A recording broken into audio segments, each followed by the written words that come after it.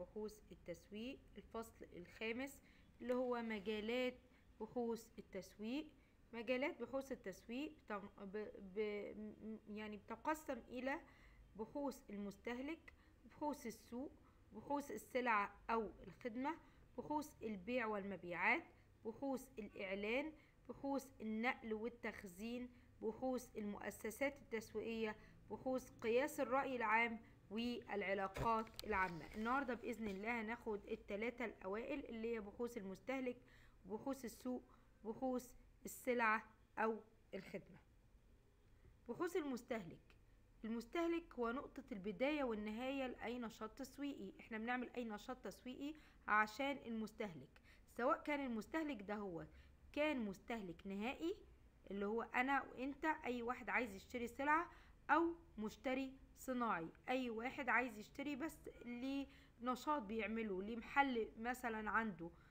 فالمستهلك بيعتبر دايما سيد السوق لأن معنى ذلك إن أي دراسة تسويقية لازم تبتدي بالمستهلك. طيب تتحدد دراسة المستهلك في المجالات التالية. إيه المجالات اللي بيدرسها بحوث المستهلك؟ بحوث قرارات الشراء ودوافع الشراء لدى المستهلك وبحوث عادات الشراء. بحوث قرارات الشراء. المستهلك النهائي. إيه هو المستهلك النهائي؟ المستهلك النهائي اللي هو زي ما أنا قلت لكم اللي بيشتري المنتجات أو السلع أو الخدمات لاستخدامه الشخصي أو لأسرته زي الطعام زي الشراب زي آه، الأدوات الكهربائية زي مثلا خدمات رياضية معينة زي علاج ده المستهلك النهائي. المشتري الصناعي اللي هو بيشتري المنتجات عشان بيستخدمها في بيعها يعني آه، بيستخدمها في عمليات الإنتاج أو بهدف إعادة بيعها. عندنا هنا مقارنة ما بين المستهلك النهائي والمشتري الصناعي. المستهلك النهائي عنده خمس خطوات المشتري الصناعي تمن خطوات. الم- المستهلك النهائي بيبتدي عنده الشعور بالحاجة لشراء سلع. أنا عايز دلوقتي أشتري سلعة تاني مرحلة بيجمع بيانات ومعلومات عن السلعة اللي هو عايز يشتريها. تالت مرحلة بيقيم البيانات والمعلومات. آه ال- المنتج دهوت أفضل من المنتج دهوت بعد تحليلها من البدائل المختلفة. عندنا كذا بديل فنجمع بيانات ومعلومات عن ال- البدائل اللي عندنا ونبتدي نقيم البيانات والمعلومات من حيث جودتها مثلا من حيث سعرها. نبتدي في رابع مرحلة إن إحنا تحليل أفضل البدائل أفضل بديل من البدائل. البديل ده هو أفضل كان جودته أحسن بيقدم خدمات ما بعد البيع وبالتالي نتخذ قرار الشراء نبتدي في المرحلة الخامسة نقيم القرار بتاعنا. هل القرار بتاعنا اللي إحنا اشترينا بناء عليه المنتج كان صح ولا غلط؟ لقينا فعلا المنتج دوت أشبع الاحتياجات بتاعتنا ولا ما أشبعهاش؟ في المشتري الصناعي يبتدي التأكد من وجود حاجة أكيدة للشراء. لا ده هو بيشتريها عشان يبيعها. يبقى لازم يكون عندنا حاجة أكيدة للشراء وأن المنتج غير موجود بالفعل عشان يبقى فيه إقبال عليه. المرحلة التانية توصيف المشتريات وتحديد الكميات المطلوبة من كل صنف. إحنا عايزين نشتري قد إيه وقد إيه آه، آه، الكمية اللي إحنا عايزين نشتريها من كل صنف. المرحلة الثالثة توصيف جودة الأصناف توصيف جودة ال- آه، الأصناف المطلوبة بطرق توصيف الجودة. المرحلة الرابعة نشوف إيه هي المصادر المناسبة لتوريد الأصناف المطلوبة. الخامسة دراسة العروض المقدمة من الموردين نشوف الموردين جماعهم اللي بيبيعوا السلعة دهيت وإيه هي العروض المقدمة ومين أقل من مين وإيه هي اللي هيقدم لنا آه، بعض الخدمات التانية. وبعد كده نبتدي نفاضل ما بين ال- الموردين دوت في المرحلة آه، الستة ونختار المورد الأفضل بالنسبة لنا. المرحلة السابعة بنبتدي نستلم الأص- الأصناف ونعمل رقابة على الجودة ونسدد ثمنها المرحلة الثامنة نقيم, عمليات الشراء بقصد تحديد نتائج الصفقات القادمة. هل إحنا فعلا اختيارنا كان صح ولا اختيارنا كان غلط؟ يبقى نلاقي إن قرارات الشراء أما نيجي آه، آه، نعمل مثلا قرارات شراء معينة أو مثلا دراسات تسويقية معينة لازم ندرس خصائص المستهلك النهائي أو المشتري الصناعي. من حيث إيه؟ من حيث العوامل الديموغرافية. من حيث السن. ال ال ال ال ال ال السن اللي إحنا هنبيع له المنتج دهوت هل المنتج دوت مناسب ليه ولا لأ؟ الجنس. هل هو ذكر أو أنثى وهل هو مناسب ليه أو لأ؟ المستوى التعليمي. يبقى دي كلها في العوامل الديموغرافية. حجم الأسرة إحنا عايزين ننزل المنتج دوت لاسره عدد آه، عددها كبير عددها صغير يبقى ده هي الدخل كل فرد. المنتج ده هو هيقدر يشتريه عدد أكبر من الأفراد ولا لأ؟ الدخل المخصص للضروريات المنتج ده يعتبر من الضروريات ولا من الكماليات؟ الطبقة الاجتماعية التي ينتمي إليها المستهلك هي اللي بتخلينا نحدد السعر بتاع المنتج بتاعنا. القائم باتخاذ الشراء مين القائم؟ هل هي الأم؟ هل هي الأب؟ طب الديانات والمعتقدات اللي بيعتنقها الأفراد دهمت لازم يكون مش متعارض مع معتقداتك أو مع الديانات اللي أنت آه، بتشوفها صح. شخصية المستهلك لازم يكون متناسب مع شخصية المستهلك. بحوث دوافع الشراء. بحوث دوافع الشراء بيعني التغلغل في أعماق المستهلك. إحنا عايزين نشوف ليه المستهلك دوت بيتجه إلى مسلك معين أو لسلعة معينة أو لمحل معين أو لمول معين. وقد تم بناء بحوث الدوافع على عدة افتراضات. يبقى لما إحنا عملنا بحوث الدوافع افترضنا عدة افتراضات. إيه الافتراضات اللي افترضناها؟ قالك أنه لا يمكن افتراض معرفة المستهلك بكل ما يرغب. مش هنقدر نعرف المستهلك عايز إيه كل اللي عايزه إيه. لا يمكن افتراض تطابق السلوك الظاهري للمستهلك مع السلوك الفعلي له. كمان لا يمكن افتراض أن سلوك المستهلك دايما بيتصف بالرشد والعقلانية.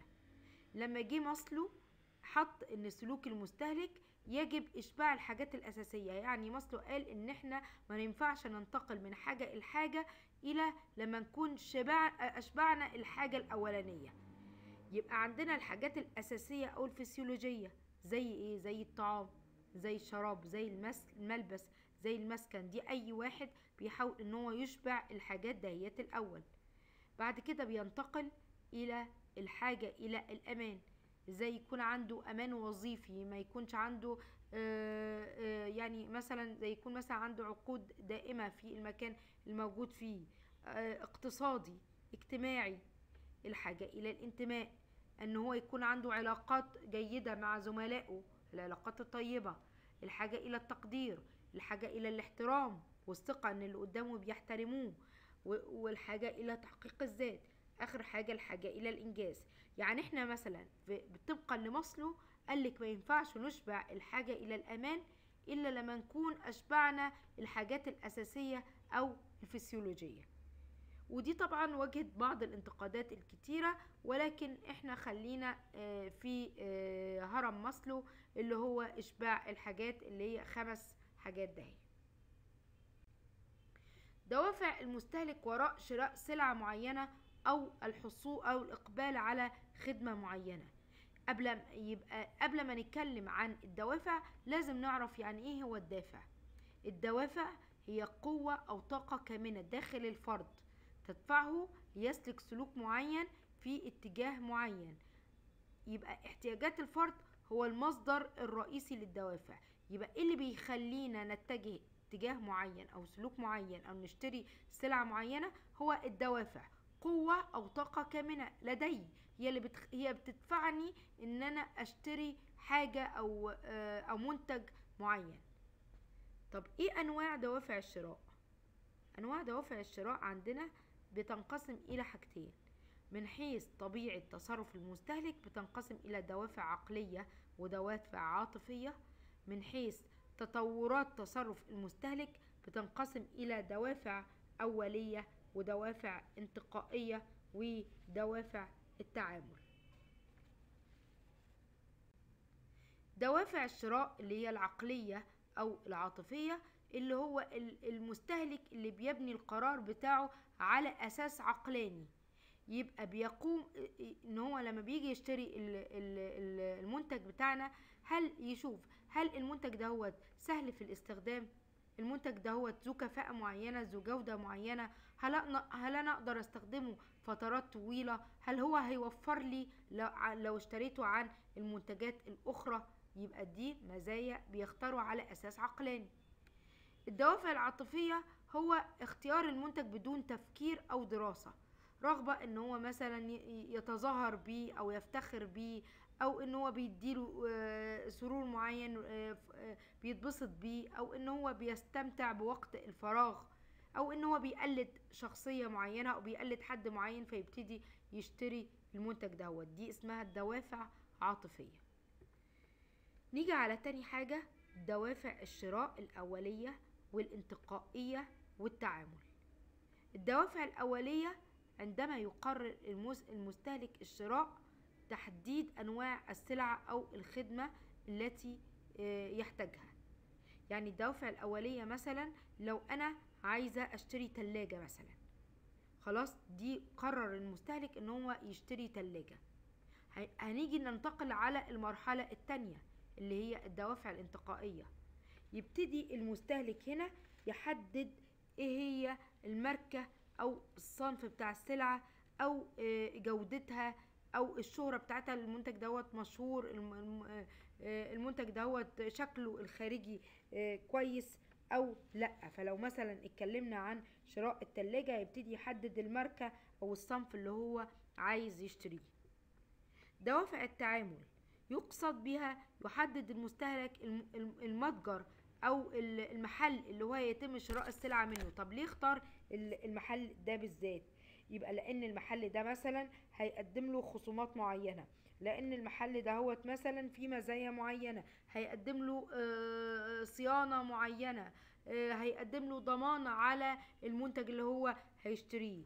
يبقى دوافع التعامل يحدد المستهلك المتجر الذي يتم شراء السلعة أو الخدمة منه والأسباب التي تؤدي إلى تفضيل المستهلك التعامل مع متجر معين أو مع محل معين أو مع مول معين إيه هو اللي بيخلي المستهلك رايح للمكان دهوت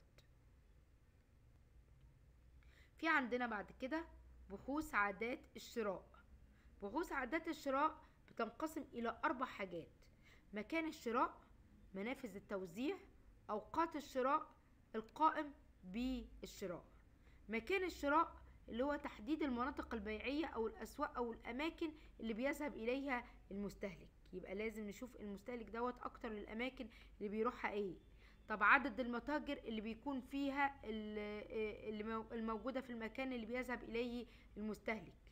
طب إيه هي السياسات التسويقية اللي بتناسب المستهلك في هذا المتجر؟ يبقى لازم دي كلها نعرف شخصية المستهلك وهو رايح يشتري المنتج بتاعه هيروح يشتري من المكان دهوت ليه؟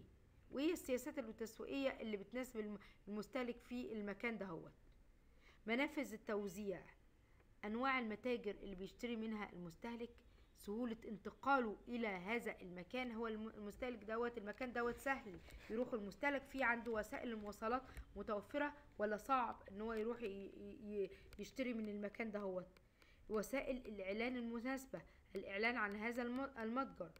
شكل ومكان التوزيع. طيب لو اتكلمنا عندنا عن أوقات الشراء إيه هي افضل الاوقات وهي افضل الأيام مثلا؟ لو عندنا يبقى أيام الاجازات يوم مثلا الخميس يوم الجمعة يوم السبت يبقى دهيت اوقات الشراء. إيه الاوقات والايام اللي بيشتري فيها المستهلكين؟ السلعة دهيت.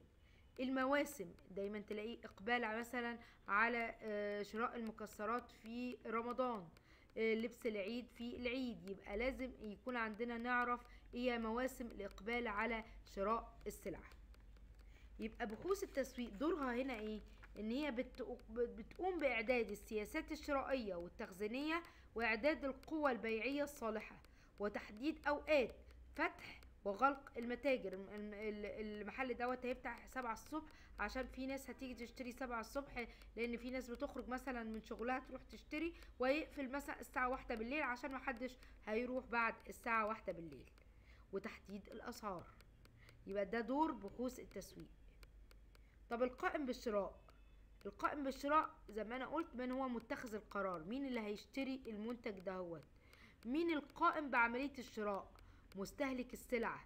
توجيه الرسالة الإعلانية إلى هؤلاء الأشخاص اللي هم بيشتروا السلعة دهيت. إيه الاختلاف ما بين سلوك, آه، سلوك المستهلك النهائي وسلوك المشتري الصناعي؟ عندنا أربع اختلافات ما بين سلوك المستهلك النهائي والمشتري الصناعي. أول اختلاف إن سلوك المستهلك النهائي دايما بيتصف بالعاطفية أو في الأغلب بيتصف بالعاطفية. لكن سلوك المشت... المشتري الصناعي بيتصف في الأغلب بالعقلانية. تاني حاجة إن مشتري... إن مشتريات المستهلك النهائي دايما بتكون صغيرة الحجم ومتنوعة كتيرة ولكن حجمها قليل. مشتريات المستهلك الصناعي بتكون كبيرة الحجم عشان يست... يقدر يستفيد من العروض يقدر يستفيد من وفرات الحجم. المستهلك النهائي بيشتري السلعة بناء على معلومات سابقة حد قال له إن السلعة ديت كويسة أو بيانات عامة لكن المشتري الصناعي بيخضع مشترياته لاختبارات فنية قبل أن ينفق على السلعة ويحدد ويختار المورد المستهلك النهائي يمكن أن يشتري السلعة دون الحصول على خدمات ما بعد البيع. يبقى أنا ممكن أشتري السلعة وحتى لو المنتج ده عجبني قوي وما فيش خدمات ما بعد البيع ممكن أشتريه برضو لكن المشتري الصناعي لأ ما ينفعش. لازم يحصل على خدمات بجانب الجودة والسعر. وقد يستأجر السلعة بدل من شرائها. يقول لك أنا هحط السلعة ديت عندي لو ما اتباعتش خدها تاني. يبقى يستأجر السلعة بدلا من شرائها. بحوث السوق. بحوث السوق أو أبحاث السوق هي البحوث اللي متعلقة بالسوق بخصائص السوق تحديد السوق المستهدف معرفة حجم السوق. فلو مثلا عايزين ننزل مثلا منتج جديد للسوق لازم نعرف إن المنتج دوت سعره كويس يعني الناس هتقدر تشتريه مناسب للمستهلك طب إيه هي المزايا اللي هيتمتع بيها المنتج يكون عليه إقبال؟ حجم السوق اللي إحنا هنبيع فيه قد إيه؟ اللون أو الطريقة اللي, اللي بيرغب فيها الزبون عشان يحصل على المنتج من خلالها. يبقى آه لو هننزل منتج جديد يبقى لازم إن إحنا نحلل السوق ونعرف المعلومات اللي بتساعد على ضمان العمل التجاري على ضمان نجاح العمل التجاري. يبقى لما جينا اتكلمنا عن بحوث السوق قالك السوق هي عبارة عن مجموعة من المستهلكين من سلعة معينة أو قطاع سوقي معين. القطاعات السوقية تعني إن إحنا بنقسم السوق إلى قطاعات متجانسة بنقسم السوق إلى قطاعات من المستهلكين. يمكن النظر إلى كل قطاع سوقي على إنه هدف تسويقي يجب تحقيقه عن طريق المنتج التسويقي المناسب. طيب يبقى عند تحليل القطاعات السوقية يجب اتباع عدة خطوات. أول حاجة إن إحنا ما نبتديش بعينة كبيرة لأ نبتدي بعينة صغيرة من المستهلكين.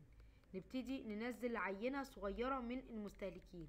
تحديد أهم الخصائص التي بتصلح للتقييم.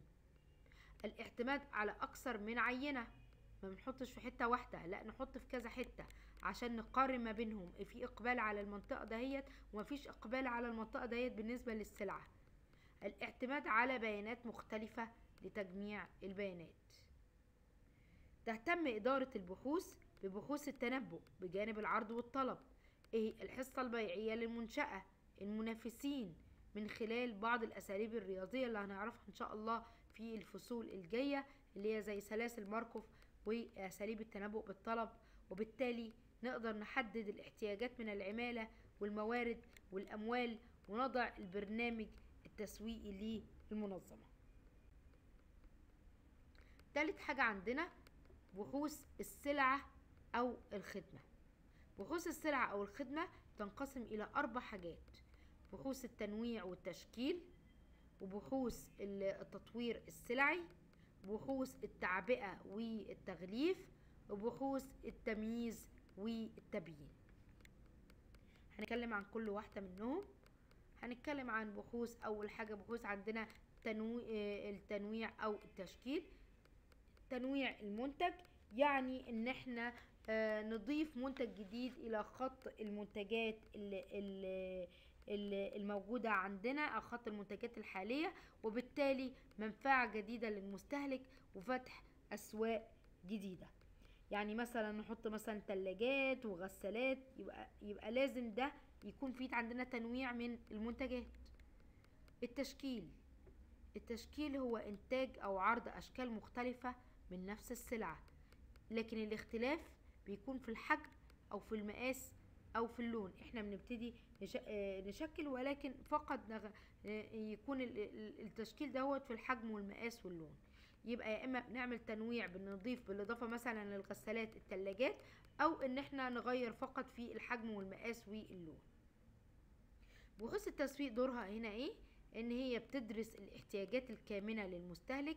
إيه هو اللون اللي بيفضلوه؟ إيه شكل التلاجة اللي هم آه، عايزينها مقاسها وترجمتها في سلع وخدمات وتحديد الأحجام والمقاسات المطلوبة لإنتاجها والتشكيلة المثلى لمنتجات المنظمة ودراسة مدى إمكانية تبسيط خط الإنتاج الحالي. السابقة يعني بالنسبة لبحوث التطوير السلعي أو الخدمي عندنا إيه؟ عندنا بتمر بخمس مراحل. المرحلة الأولى اسمها مرحلة توليد الأفكار. مرحلة توليد الأفكار بيتم الحصول على الأفكار الجديدة للسلع والخدمات وإدخالها إلى المزيج ال- الحالي. يبقى إحنا بنمر بعدد من المراحل في التطوير السلعي أو الخدمي طيب بنعمل إيه؟ بن- بنحاول نولد أفكار جديدة للسلع والخدمه إيه هي؟ المنتج دوت بينزل بشكل إزاي؟ إيه المنتج اللي الناس محتاجاه؟ طيب هنحصل على هذه المعلومات منين؟ من العاملين الموجودين جوه المنظمة. من الموزعين والوسطاء لأنهم أكثر احتكاكا بالمستهلكين. المنافسين الموجودين عندنا نزلوا منتج شكله إيه؟ وبالتالي إحنا عايزين ننزل منتج أحسن منه. من مراكز البحوث ودراسات الجدوى الجدوى ومن المستهلكين والم- والمشتريين الصناعيون عندنا مرحلة تانية اللي هي مرحلة تصفية الأفكار. مرحلة تصفية الأفكار اللي هي استعراض كافة الأفكار. نشوف كافة الأفكار اللي موجودة عندنا. ونست- ونستبعد الأفكار غير الممكنة عمليا. الم- الأفكار اللي مش هنقدر نطبقها. طيب وهل هذه الأفكار صالحة من الناحية القانونية؟ من آه، مثلا آه، ما فيش عندنا قيود قانونية تمنع هذه السلعة أو من الناحية الاجتماعية إن إن المنتج اللي هننزله ده بيقدم مساهمة للمجتمع أو من الناحية البيئية إن لا يترتب على آه، السلعة دهيت أضرار معينة للبيئة. دي أول حاجة. مرحلة دي تاني حاجة. مرحلة تصفية الأفكار. تالت حاجة عندنا مرحلة التحليل الاقتصادي والفني للأفكار. معنى ذلك أن الطلب على السلع أو الخدمة قيمة أو كمية الإنتاج. إيه هي قيمة أو كمية الإنتاج؟ الطاقة الإنتاجية المطلوبة حجم العمالة المطلوب للإنتاج. إحنا عندنا هننتج منتج كبير وبالتالي عايزين عمالة أكتر من الموجودين عندنا في المنظمة دلوقتي. تكلفة كل عنصر من عناصر الإنتاج دي مهمة جدا عشان نشوف التكلفة النهائية ونشوف المنتج دوت هينزل بالسعر دوت ولا هينزل بسعر أعلى أو أقل. خصائص السلع أو الخدمة المواصفات التي تعبر عن آراء ورغبات المستهلكين. المرحلة الرابعة عندنا اختيار السلعة أو الخدمة. السلع أو الخدمة خلاص تبلورت في شكل نموذج في شكل آه، بيكون في شكل أو نموذج قريب من السلع أو الخدمة ويتم إدخال هذا النموذج في السوق لاختبار مدى تقبل المستهلك له. ويبتدي ندخل آه، كمية بس مش كبيرة. للسوق عشان نختبر المنتج دهوت هل في تقبل ليه من المستهلك ولا مفيش تقبل ليه من المستهلك؟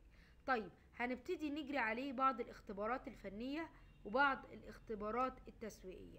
الاختبارات الفنية اللي هي خصائص السلعة وأداة السلعة أو الخدمة الوظيفية التي وجدت من أجلها. الاختبارات التسويقية بواسطة الموظفين أو متاجر التجزئة أو العملاء. ساعات بيتم استخدام أسلوب الأسواق الاختيا... الاختبارية. أسلوب الاخت... ال- الأسواق الاختبارية يعني مفروض إن هو يكون آه، ممثل للمجتمع. في الأسواق الاختبارية دهيت بنحدد في آه، آه، أسواق في مناطق متفرقة وبعدين إن إحنا بنقوم بتوزيع المنتج الجديد على العملاء الموجودين على المستهلكين أو على العملاء الموجودين في المناطق دهيت. وبعدين نعرفهم ان المنتج موجود في المكان الفلاني من خلال إن إحنا مثلا نعمل حملة إعلانية بنعرفهم بوجود المنتج في المكان الفلاني وفي الآخر إن هو لا يتأثر بظروف المنافسة في السوق. ده اسمه أسلوب الأسواق إيه؟ الاختبارية. المرحلة الخامسة الموجودة عندنا هي مرحلة تقديم السلع أو الخدمة في صورتها النهائية بعد نجاحها فنيا وتسويقيا في المرحلة الاختبارية. يعني لقينا المنتج ده هو بعد ما نزلناه حقق نجاح معين نبتدي بعد كده ننزل السلعة أو اللي إحنا عايزين ننزلها بكميات كبيرة. طيب بحوث التسويق دورها هنا إن هي بتوفر البيانات والمعلومات عشان نقدر نرشد القرارات التسويقية سواء في التخطيط سواء في التطوير السلعي أو الخدمي. بحوث التعبئة والتغليف. بحوث التعبئة والتغليف بحوث ال- السلعة تهتم بالدراسات المرتبطة بالغلاف بالعبوة الغلاف والعبوة وإيه علاقتها بالأنشطة التسويقية هل ال- ال- السوق اللي موجود اللي هنزلنا فيه المنتج دهوت متقبل للغلاف دهوت الغلاف دوت؟ مناسب؟ يعني مثلا المناسب دوت بلاستيك أو مثلا الغلاف ده كرتون هل الغلاف دوت مناسب للسلعة؟ أو مفيش ضرر عليه وإحنا بننقل السلعة من مكان لمكان مفيش ضرر مش مش مش هيضيف أي آه، آه، مثلا مش هيتفتح مننا وإحنا بننقل ال- المنتج. مواصفات وخصائص الغلاف المناسب للسلعة إمكانية النقل والتخزين نقدر ننقله بسهولة ونخزنه بسهولة. الغلاف شكله إيه؟ تصميمه لونه الذوق الأحجام الخامات البيانات المكتوبة على الغلاف ده. طب بحوث التمييز والتبيين. تمييز السلعة يعني استخدام اسم تجاري أو علامة تجارية عشان نفرق ما بين المنتج بتاعنا ومنتجات المنافسين عشان ما يحصلش غش للسلعة دهيت أو حد يقلدنا. طيب دور بحوث التسويق إن هي بتختار الاسم التجاري والعلامة التجارية للشركة.